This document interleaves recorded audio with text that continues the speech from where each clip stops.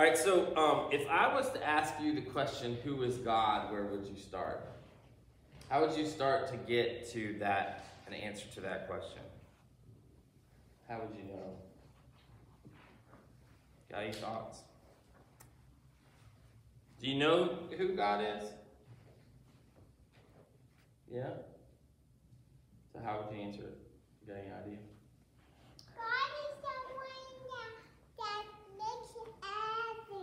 Makes everything. Good. All right, so that. Boy, God made her baby voice too. well, there you go. So, so we think about um, what if we think about God makes everything, right? That is learning about God based on what God does, right? Is that one thing we can think about? That what the things that God does, things that we can witness God doing that's one way to get to know who God is, right? So we can think about all the different things that God does in the Bible, maybe the things that God does in our lives. We can look out at the world of creation that we see, and that can teach us about who God is. Is there any other things that we can do to find out who God is? Church? Could be. How does the church teach about God? Any thoughts? so if you were if you were going to say that you know a person, how would you get to know a person? One of those is about what they do, right? The things they do. We already talked about that with God. What else might you get to know about a person based on them? Got any thoughts?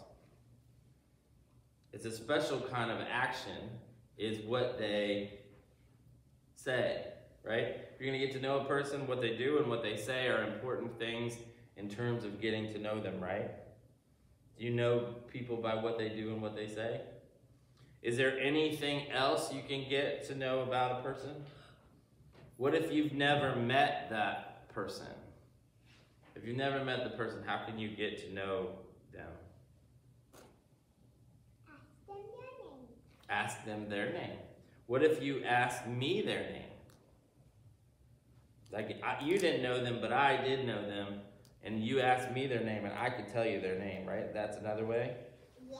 Yeah, and if you did that, then that would be the third thing, which is what other people say about them, right? So that's the basic ways that we can know God. Know God by what He does, by what God says, and what other people say about them, right?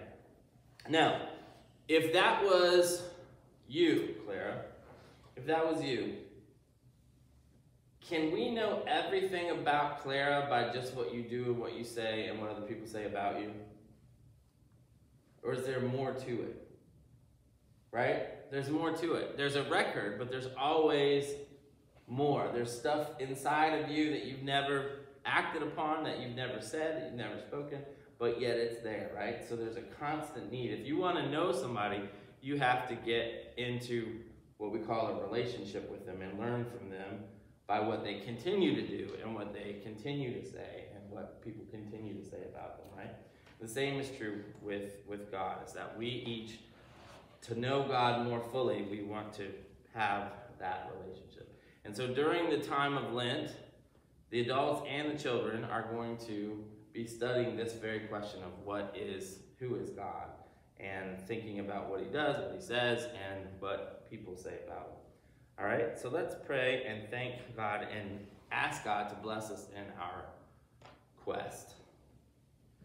Heavenly Father, thank you so much. We seek to know you better. We seek to know your ways. We seek to know you, your very being. And so bless us on our quest as we seek, as we ask, as we knock on the door. We ask that it could be open and that answers will follow. We know that this journey is never complete um, and that we're never done, that we never can grasp fully, but we always ask that we might come to know you more and that we could grow nearer and nearer and nearer, both to you and to the people that we walk through this life with.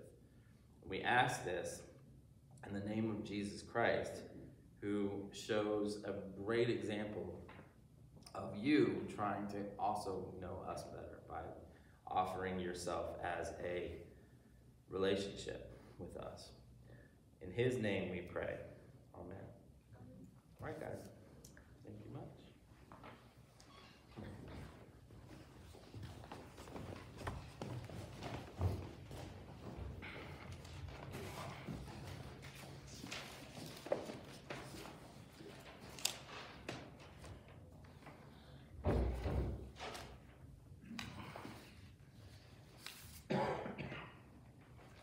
Um, did everybody see these that were by the um, door? If you didn't get one um, and and would like one, it'd be good. Even if you don't take it home with you, it'd be good to have during the service. Um, does anybody need one of these? That's out because I can get Coralie to grab one, or looks like Joyce has got them, so we're good. Anybody? need? You can share with someone in your household if you need. need to. All right. Thanks.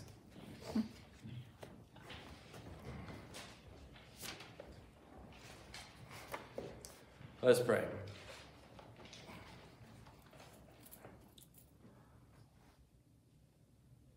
Heavenly Father, we seek you. We seek you and with our very being. We want to know you more fully. Open our hearts and our minds and our lives to that wonderful quest of seeking, the quest of a lifetime, the journey of a lifetime, coming to know you better and coming to know those that we walk through life with better. Help us hear your word, see your actions, and, and listen to what folks throughout time have said that we can have your Holy Spirit lead us into the truth. In Jesus' name we pray. Amen. All right, as I was telling the children, um, during Lent, we're going to be studying, and I hope that you will take um, advantage of, this. There are different levels that you could immerse yourself. You could um, immerse yourself just a little bit by asking the question, Who is God in your life? Um, you can, I will be giving out these devotional things um, for each week. Um, each week we'll have a day and a theme, and you can see that outlined in what you have. You can um, read through that. That would be another level. You can read through that and engage with the questions. Um, you can do a number of things, and I invite you to figure out what it is best uh, for you to do. This morning, I want to introduce the topic and I want to seek to give the reason that seeking the answer to this question is important. Um, and note I said seeking, right? Because not necessarily finding. Um, there is a difference between seeking and finding. Seeking is, of course, the act of looking, whereas finding is the end the final piece, the goal. And seeking to know God, there really is no end piece. Um, you cannot know an infinite, eternal being fully. There's always more. There's always more to us, as I was pointing out with Claire as the example. There's always more to us that we haven't shown. And so imagine that with something infinite and eternal, like God is. Instead, what you do is you orient yourself toward you lean, you immerse yourself in, you engage, and doing all those is seeking the divine. You never grasp. Actually, as we'll see, it's usually the grasping that people get into trouble and gets people into trouble when they grasp.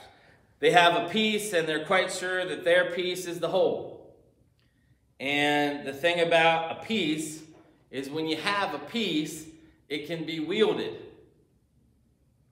It can be used. It can be controlled. And God can't be any of those things. If you look through history, you'll see millions of times where God has been used, He's been wielded, and He's been controlled, and all of them end in catastrophe. And I do not want to give some pseudo postmodern suggestion that God is relative to our thoughts, that God is somehow a relative being, that you have your God and I have mine and he has hers and whatever else. I don't want to give the idea that we create God by thinking God into existence. Instead, I want us to think about a God who actually is. Whether we think him or not, whether we know him or not, whether we believe in him or not, doesn't make a difference as to whether God exists or does not exist. Now, that seems to be such a simple concept, but it's a challenging one for our times where we have my truth and your truth and his truth and our truth. What we seek is the truth. And we might never grab it, but remember, our point is not to wield it, to beat other people over the head with it. It's simply to get to know it better. Whether we know God or not does not limit in any way the being that God is. God is despite us, and our knowledge of him does not make him. And the limitations our knowledge puts on God does not limit God. So there is this primal, perfect, proactive, provocative, omniscient, omnipotent, omnipresent being that we seek to worship and to know because he created the world and everything is sovereign over all that is. Perhaps even those are unfair starting points. I just made a number of assumptions. They're unfair to start with all of those assumptions in place for a study like this. In a perfect, I don't say in a perfect world, but in a perfect study, we would begin without any preconceived notions about who God is. We would begin with a, a blank slate, a empty coloring book, and we would allow the investigation itself to fill in the spots where we were coloring. We'll do the best we can. It's hard to start empty. And I'm not sure, honestly, whether actually starting empty would be right or not. One thing I promise you, though, is that I will not be providing you with any answers. I do not wish to do that anyway. When I do it on accident, realize that that is my weakness coming forward. I do not wish to give you any answers. Instead, I'm going to offer questions. Give you some clues and possibly a method of seeking. And then my intention and my goal is hopefully then to set you free to fly and find the answers yourself. Because I, first and foremost, most, am a seeker like you are. I do not wish to, to just give you my knowledge, but instead to have you seek for God yourself. I do this, again, not because I think God is relative, but because I have faith that in seeking, you will find something that is the source of everything that I know. I'd rather you find the source than for me to fill in details that are not connected to the source. Not details that I know, not any clues I have been given, but instead to provide you with seeking of the source. And from that source, my hope is that we can then learn from each other. Such is where truly the, the goal of this study lies, but it's really the, the, the goal of all that we do in any kind of Christian education. We seek to grow closer to God and we seek to grow, grow closer to each other. If you've been in any of my Sunday school lessons or Bible study type things, that is typically at the prayer that we say. May we, through this, grow closer to you and closer to each other. Closer, always closer. That being the case, I want to show you something that sparked this idea in my head. It was already floating around a little bit, and this kind of cemented that this is what I wanted to do this Lent. I came across this book. You see that it has not been read much. It was a gift from my uncle, autographed by the guy who wrote it, who was the um, clerk of their session for 25, 30 years or something like that. And that is his claim to fame. He is not any, um, he did not go to seminary. He did not study at some university. He did not do any of that. He simply lived within the church as a leader within the church for that length of time. He writes this article, which was on January 13th. It says, Barriers to Spiritual Renewal. He says, I do not know all of the barriers to spiritual renewal by any means. Two of them, however, I believe I know without a doubt. The first barrier to, barrier to spiritual renewal breaking out in any church is that we do not really know who God is. I read that and I was like, whoa. It's an interesting, provocative statement. And he puts an exclamation point at the end of it. Instead, in our American culture, we practice a kind of pragmatic idolatry. Our faith, faith is useful and functional as we apply it in our routine worlds, but, it, but does it ever run deeper? Right? That's why I said, when we know a piece, we can wield it, we can use it, we can control it. It is practical. We have to look at the meaning behind our actions, even inside the church. The culture around us has a nasty way of infiltrating the way we conduct ourselves. For example, we make the God of the church the size of its budget or attendance. When a group of preachers gets together for the first time, usually the first question they ask of each other is something like, How many do you have in Sunday school or worship? He says this is pragmatic idolatry. Success is measured by the number of bodies in the building. The numbers become all important and function as our God. The second barrier to spiritual renewal and another symptom of our church's decay is the need to be busy. As Americans, we tend to define our worth as persons by the degree to which we are busy. Our busyness justifies who we are and gives us our meaning. We have taken that kind of sentiment to the extreme. Being still and quiet has become, an, become anti-American. A good American is a loud American. A good American is an American who never stops working. I don't know if he did this on purpose, but there are two things in those, both of those spiritual um, barriers that he mentions that are the same in both of them, which is um, we seek to define or control or measure. We seek to measure. And one, we're measuring what God is, and the other, we're measuring our own worth by how busy we are. In both of them, we are seeking to measure. And I thought to myself, yes, I resonate with that, right?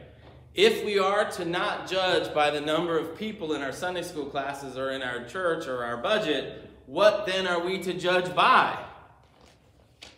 Is this just what small churches say to excuse the fact that they don't have numbers.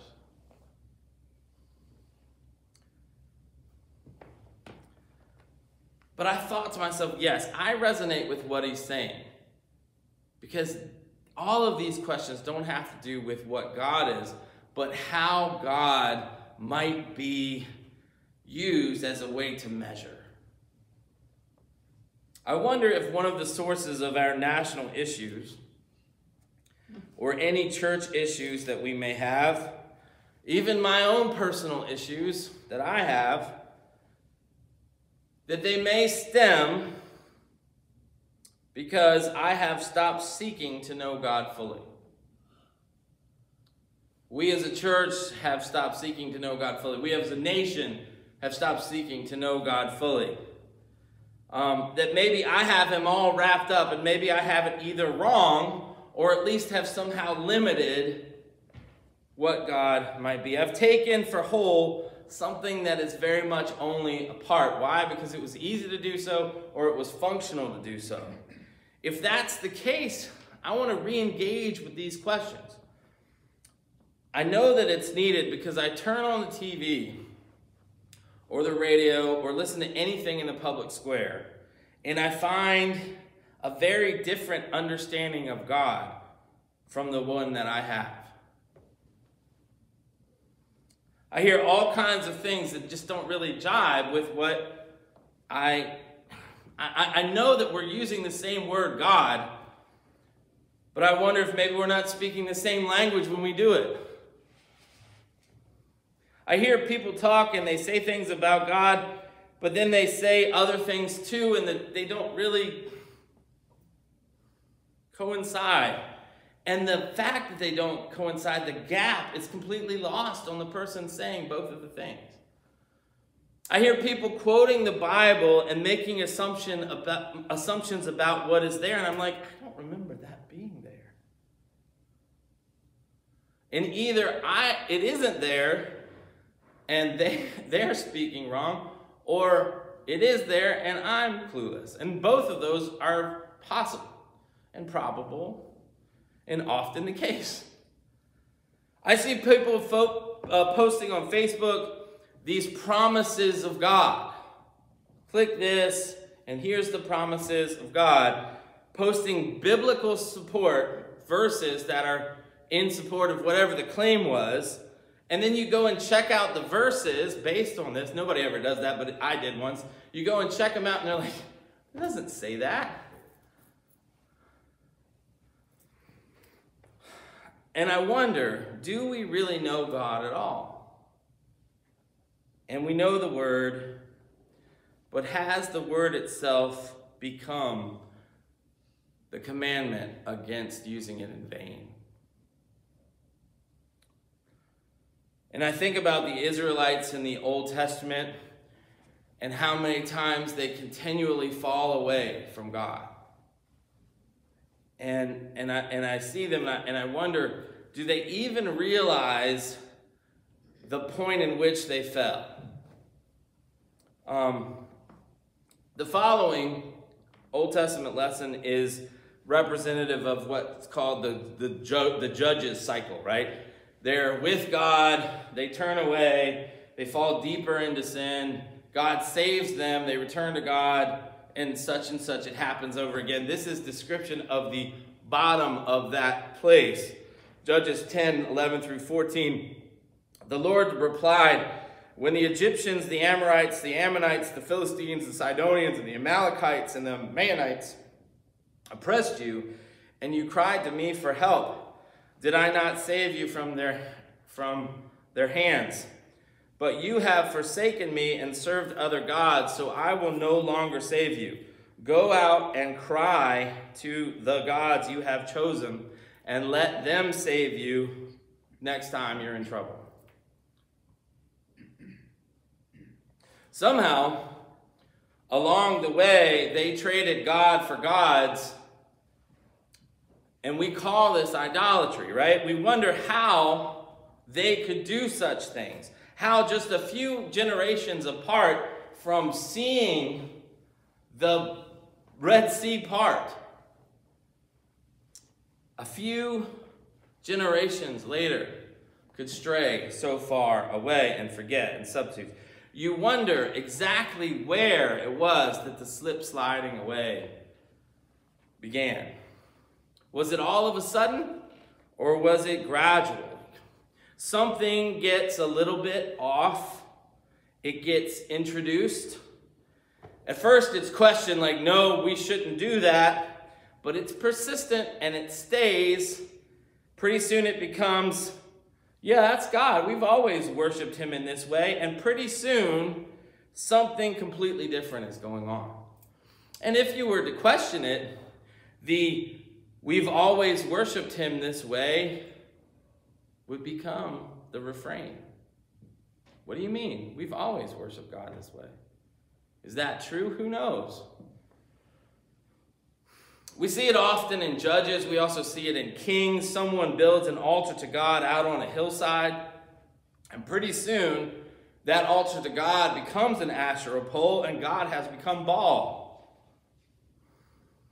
And if you were to study Baal and Astarte, who they were, they might just be a short, wrong turn away from God. But they are that wrong turn, and pretty soon, a simple, small turn has replaced God fully. In their day, it was a small stone statue. In our times, it might be something much more small, much more seemingly insignificant, but in time it grows to a big, huge problem. And as Elder Lowry said, the cost is a barrier to spiritual renewal. Stagnation is found where life giving waters once flowed. Remember, almost a year ago now, it was my first sermon before the pandemic really got in swing. Jesus and the woman were at the well. Jesus offers her, offers her the willing, the living water. And she says, But I have no bucket, and you have no bucket. How are we to hold this living water? Jesus offers spiritual renewal, and the woman offers back a barrier. Something practical, like a bucket. What barriers do we have in place? Do they stem from us not seeking God fully? These are the questions that we're going to ask. This is what the basis of this is. And maybe we'll find that we don't have any in place, and that would be a wonderful thing. Um, maybe. Look at the New Testament lesson here from Paul in Romans. He is outlining the exact problem, the problem from which all of our troubles flow, right? If we talk about in the sing about in the in the doxology, we say praise God from whom all blessings flow. This is the opposite. This is the problem from which all troubles flow. This is the basis for the need for Christ, according to Paul. This is the need for salvation. This is the difficulties in the world. This is all of it, the one thing that he describes. This is uh, Romans chapter 1, 18 to 25, I think. Um, the wrath of God is being revealed from heaven against all the godlessness and wickedness of people who suppress the truth by their wickedness. Now, we hear that. We hear wrath. We hear wickedness. And the first thing that we do, we might think, hmm, Maybe that doesn't apply to us because there are a lot of bad people in the world and they're a lot worse than we are. And so that's cool. Beware of doing such things. All shapes and sizes. Since what may be known about God is plain to them, because God has made it plain to them. For since the creation of the world, God's invisible qualities his eternal power and divine nature have been clearly seen, been being understood from what has been made, so that people are without excuse. In other words, everybody's got a little seed planted about who God is in their mind. But although they knew God, they neither glorified him as God nor gave thanks to him. But their thinking became futile and their foolish hearts were darkened. Although they claimed to be wise, they became fools and exchanged the glory of the immortal God for images made to look like mortal human beings and birds and animals and reptiles. Therefore, God gave them over in their sinful desires of their hearts to sexual impurity for the degrading of their bodies and with one another. They exchanged the truth about God for a lie and worshiped and served created things rather than the Creator who is forever praised. Amen. Now, just like that first paragraph, it was easy to just cast off that stuff as the, the wrath of God is for the wicked. It would be easy to cast off verse 24 and say, oh, that's for the sexually impure. We can point fingers away instead of allowing them to look at ourselves. The idea, though, is here is that it says they exchanged the truth about God for a lie. In other words, they didn't know who God was. Willfully. In my statement of faith, I wrote this the ignoring God is the root of all sin. That it might be ignorance, or it might be, kind of knew that, but I don't really like that. So I'm going to move in this other direction. The unknowable is replaced by the knowable, right? The unseeable is replaced by a statue you can see. Auden, W.H. Auden, the poet, said in a, his Christmas poem, the Christmas Oratorio, he said, The greatest fear that human beings have is the void, the emptiness. The idea that you thought that God might be behind you, but if you actually were to turn around and look, your fear that He wouldn't be would be enough to have you never turn around. The void, the absence of God is the greatest fear. So instead of actually turning around, we never do because we're afraid that He might not be there. Like the kid that is afraid that he can't catch the touchdown pass, so he never goes out for the team. The kid that is afraid that he will fail his math test, so he never really gives his full effort.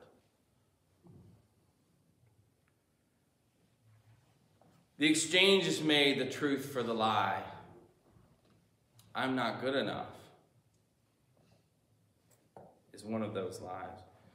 And what Paul writes, you can see in the next few verses when he goes and starts to list all of the evils of the world um, that the results of this are truly devastating.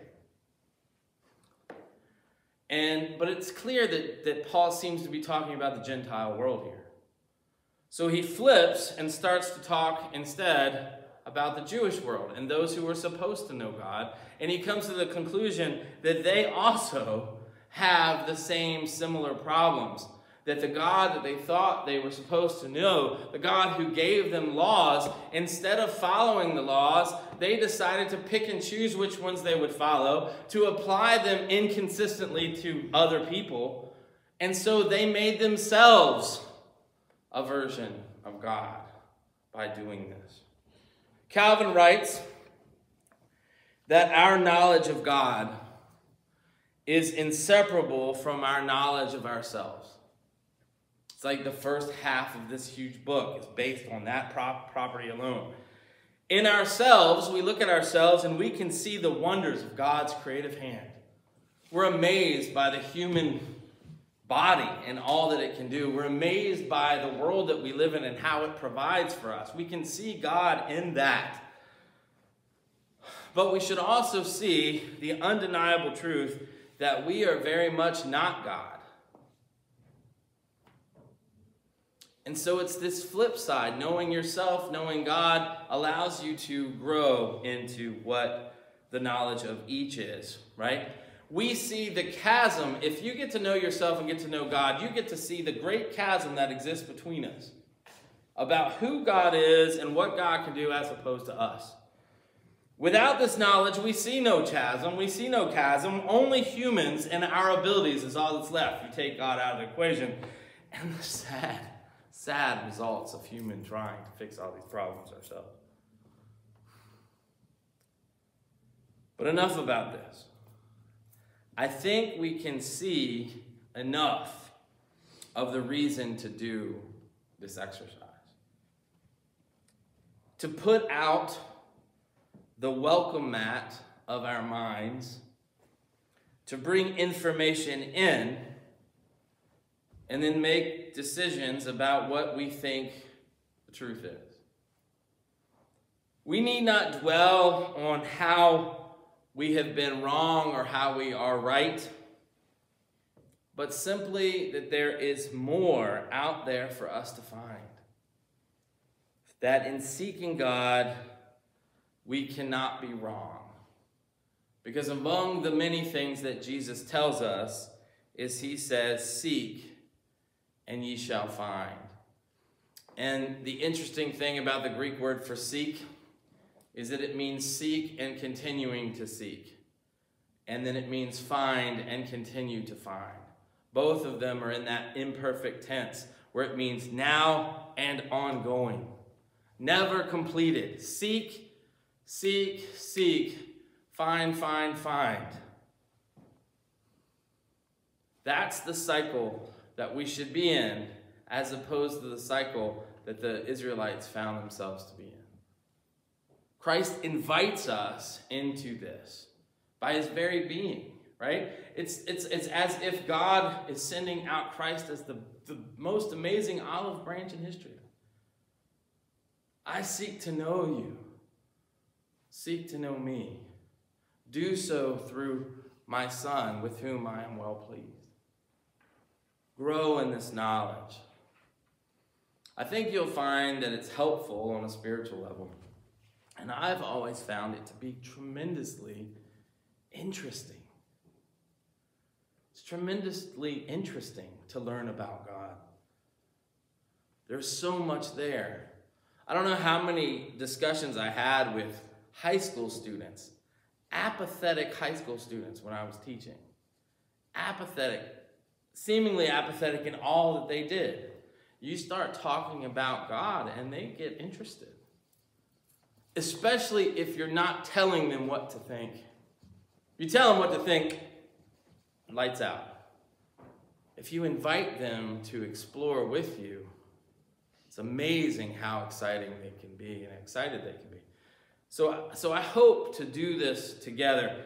I want to, um, if you look at the thing that I handed out really quickly, you'll see kind of the outline there on the back of the first page and the, and the second page. Um, this is a general flow of what it's going to look like. Week one is just this short half week starting Thursday. method, introduction, why, characterization. All right? That characterization says the way that we can know about something is to, by what it does, what it says, and what people say about them. So that's how the next three weeks will be. What does God do in the Bible? What does God say in the Bible? And then the fourth, week fourth, is what do we say? And that would include um, hymns, poems, articles, speeches, sermons, whatever, and those of other faith traditions. What are they saying about God? And how similar or different are the gods that are being described? Be interesting to find where those lines are. So, then week five, six, and seven deal with the um, kind of um, problems of not knowing God. That's the week five idolatry. That's going to be looking at what the things are that are typical ways that we might idolatrize God. That, and most of them have to do with putting God in a box and making him smaller than he probably is. Um, week six is about relationship. God having a relationship with God through Jesus Christ. And then week seven is about the promises that God has in that relationship. And you will see that each of them are the promises of the Lord's Prayer. Kingdom come, thy will be done, earth as it is in heaven, daily bread, forgiveness, deliverance, and forever. And forever is Easter Sunday. So I hope that you will go on this journey with me. You'll look at, you'll see that there are each day um, for the first week and a half, there are devotional things there. In those devotional things, there's something for you to read. There are Bible passages to look at as well. And then there are, it says, time to think. These are questions and they're all there, there to think. If you want to write down thoughts like a journal, do it. If you want to um, read over the questions and not think of them again, do them. But they're, they're there as prompts.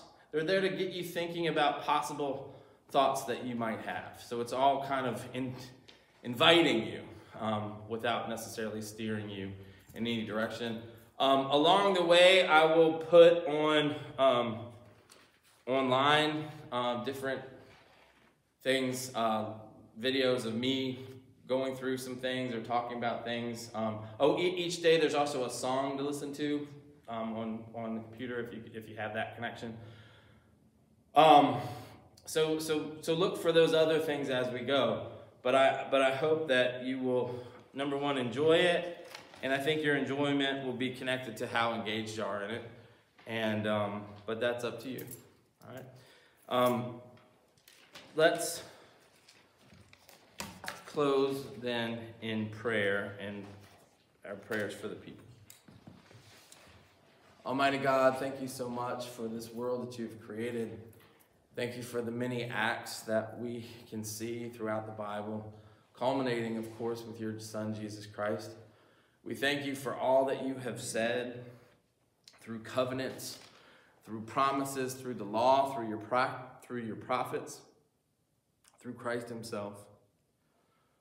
We thank you for the countless number of, of people throughout the ages who have written and described you, who have written about their own experiences of you, who have tried to um, paint a picture uh, that we might see.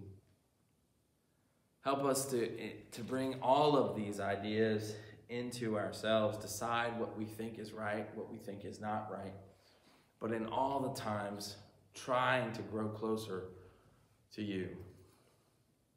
And maybe through the sharing of these ideas, we might grow closer to each other as well.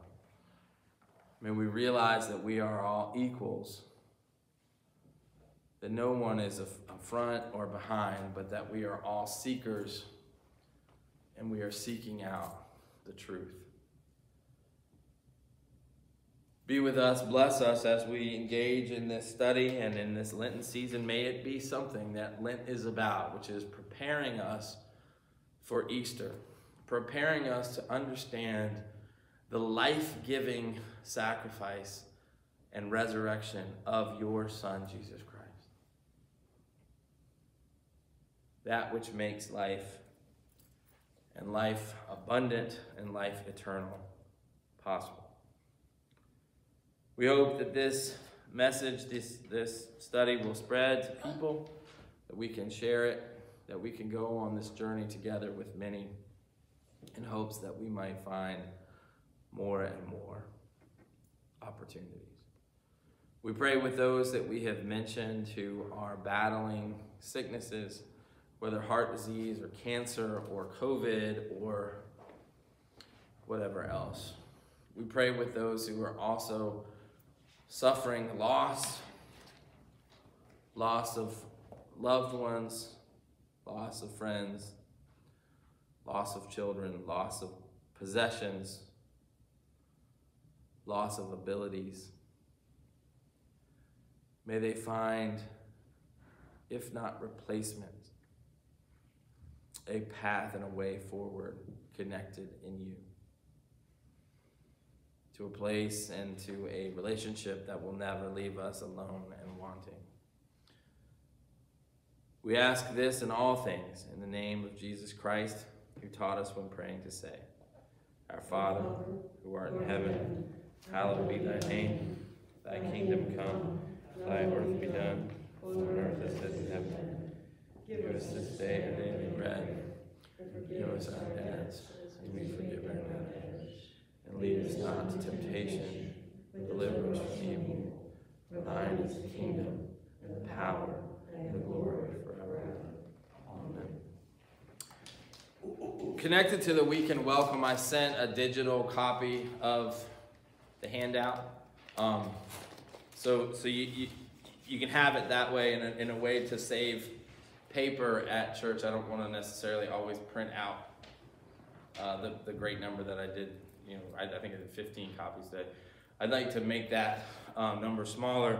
So if you would like me to print out a copy for you, um, let me know and I'll make a list of how many to do. Otherwise, I won't make them, make them, make them for each week. Okay, um, and all of it will be available through the email and then also on the website, Facebook, that kind of thing. All right. Um, our Next hymn is Immortal, Invisible, God Only Wise, which is on the back of the bulletin.